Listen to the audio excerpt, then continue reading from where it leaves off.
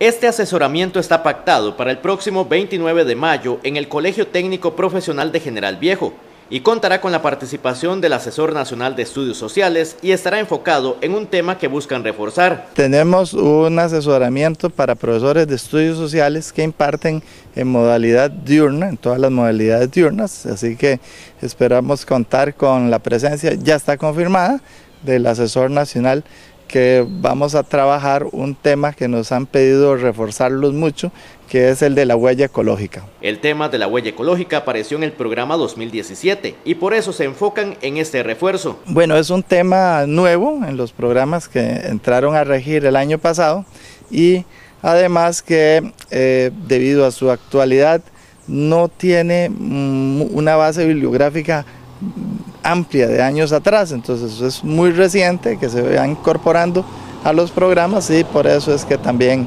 nos solicitaron mucho refuerzo en ese sentido. El asesoramiento contará con la participación de docentes de las instituciones diurnas de la regional de Pérez Celedón. En, en total la región tiene casi 100, este, considerando que hay algunos centros educativos y modalidades que a veces tienen un recorte o suben tal vez un poquito. Entonces tenemos casi 100 profesores en las distintas modalidades.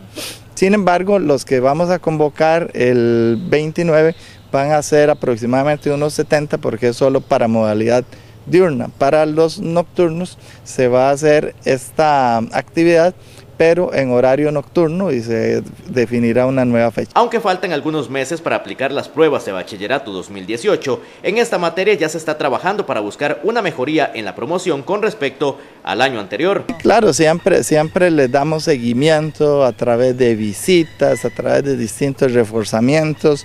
Desde San José se han implementado también este, modalidades a distancia que son este, mediante videoconferencias y siempre le damos un seguimiento muy, muy de cerca a, esa temática. La presencia del Asesor Nacional de Estudios Sociales es uno de los aspectos más relevantes dentro de este asesoramiento pactado para la próxima semana.